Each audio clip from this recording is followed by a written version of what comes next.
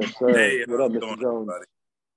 Hey, Anthony, how's it going? Um, I just want to say, wow, this has been so informative. Um, my name is Marlowe Jones. I am the uh, editor in chief of Pasco Connect magazine and the founder of Pasco Young Revolutionary Entertainment. I am a uh, fellow actor as well, um, a musician, um, a rapper, Salute. and yeah, salute, man. And I want to say, uh, it, just like listening to you, I've almost went down memory lane again in my own life and my career, just like listening, you know, to you talk about what you, the things you did in your foundation and how music and how acting, how it all correlates together, how it all meshes at the end of the day. And, you know, just listening to it was inspiring. So I want to thank you for sharing your story with with us, and you know, uh, as we say, sending the ladder down so more people can have this knowledge and this appreciation for the craft of acting and music and and the arts in general. So I want to thank you for taking the time out. I really do appreciate it. And uh, man, you. you are very talented, very talented. And, um, you know, I was just listening to you and we have so much in common. So we both have some Afro uh, Latino uh, blood running through our veins. Um, and it looks like as well, I was reading about you and you started off doing some rap battles, huh? Yeah, yeah, definitely. That was the that was the core freestyle sessions and rap battles to get your name out in the street. That, that's exactly how it was uh, for us as well. Me and my cousins would sit around with the instrumental going, and we would all kind of, you know, it would all correlate together. But um, it's just such a blessing to be speaking with another actor, another person of color. Um, my question is to you, um, as an as a fellow actor, what would your advice be to uh, people of color? Because you know, in the industry, it's so hard. Um, you know, when I when I got into the acting industry 10 years ago, I landed it pure by accident. Oh, I seen a woman who was an agent who said, Hey, you have a nice smile. And that started a conversation that led me to reading a script, which I never even was taught how to read scripts. And I went in for a cold read and I ended up getting the part of Tyrone. I'll Nice. never forget it. But it opened so many doors for me. You know, I was able to um, become an extra in a feature film that was filmed here in Florida called The Dolphin Tale. And um, that is where I got I know meet- that project. I know that project. This guy that I Yeah. worked with on Magic City, his son was was on it. Carlos Ramos, I think, or Martinez. Nice, congrats, man. It's Yeah, sorry, thank you. It was it was that I, that name sounds familiar, but it was like one of those uh, uh, crowning achievements in in my mind because it's like I know I'm only being casted as an extra, but I remember what it was like to stand in line for three hours at Ruth Eckerd Hall for the audition, and I remember like thinking, what is it going to be like if I actually meet Morgan Freeman or Harry Connick Jr. or Ashley Judd? And I remember the last day of set, we were wrapping up in Clearwater, and Morgan walked right by me, and I like froze. I was just completely nervous. And his uh, hairstylist said, "It's okay. You could go and talk to him." And he was so gracious and so humble and so, you know, interested in like, "Hey, what are you doing? Are you taking theater?" And he invited me to his tent, man, and we got to talk and we got to take pictures that you know I hold near and dear to my heart. But it was like it was an experience that I'll just never forget as an actor. And um, I traveled to New York and I lived for a little bit in with my uncle in Jamaica, Queens. Okay, Jamaica Queens, Queen. that's where I'm from. Flat, Flatbush, Flatbush. um, Nice. So, uh, man, when I got this opportunity to talk to was just like, wow, we have so much in common and we've never even met. And it just goes to show you how we're all connected in this universe, some way, somehow. Um, my second question would be for you: um, What advice do you have for for uh, up and coming actors, people of color that might feel like you know they're getting typecast or or stereotyped in these roles? What have you? What advice might you have to the young and up and coming inspiring actors? Um, what I will say is I, I go to a lot of panels. I go to a lot of TV Academy events.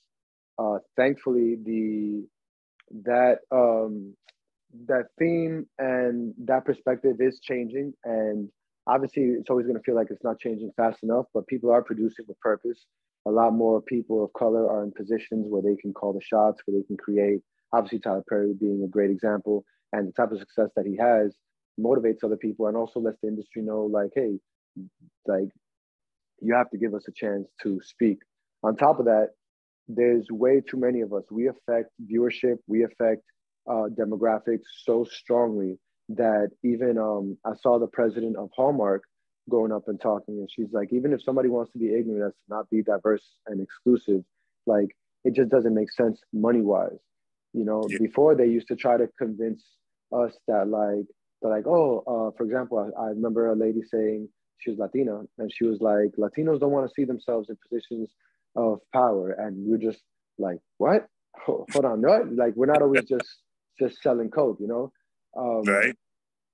And the narrative has changed uh, so much so that right now more opportunities are coming. The numbers are starting to balance even better. So like represent yourself to the fullest of your ability and don't feel like you have to be the cliche, the typecast, the stereotype. I remember even for a few years, I had long hair because all I was getting was cartel roles, and um, and I was you you have to stand, grind your feet into the ground, and and be gritty and push and and push and believe in yourself and stay grounded to yourself. And the world will change around you. If you hold yourself at value like you will eventually be valued. The numbers are increasing. Um, even with latinos i saw that like last year it was like 5% uh, for 5% of all of the leads go to go to um, go to people of that of, of latino origin. Uh, that's really small. And if you really want to stand and represent for your people, me being Afro Latino, like you got to fight through that. You got to fight through that. You know, our parents didn't create us by not overcoming and not fighting through things. So honor their effort and push it forward. And then maybe the next generation pushes it forward even further. But if we don't try to play our part, then for sure it'll never change. It'll never get to where we want and need it to be a fair representation there's there's too many. There's way too many of us now. We have way too mm-hmm. much of a voice uh, because of necessary evils and because of good things. Like people are much more woke. Uh, so we gotta we gotta continue and take every bit of that momentum that we can, and and just continue representing yourself in the best light. And that's the best thing you could do that each one can do for our people, so that they don't have even the chance to be like, oh, oh, this means that, or like, or, or, or this is they, they, these people come from that have that skin tone so that means that they're going to act like this or look like this. Nope nope we're not going to give them the opportunity to to to shell us in that box. We have way too much way too many kings and queens way too much love way too much passion way too much faith way too much ability to overcome. And mm-hmm. why how, how are we here in this platform right now? Because we all believe in ourselves because we've all been able to overcome to get to this point I know everybody here has had a tough day in their life, probably multiple. And still, there's a lot of love, a lot of sharing, a lot of care that's happening right here. We, we don't have the right, it, it's bigger than us. We don't have the right to let ourselves down or to let anybody else that needs us mm-hmm. and to push the, to carry the torch down. I certainly agree with you, man. And man, inspiring. I'm I'm, I'm going to say uh, Anthony Bless for Congress, y'all. Like, what's going on? Can we get this man? I mean, come on, man. He's an inspiring. And I also just just like to end it on this. I mean, you, we did see the Black Panther too. Now, okay.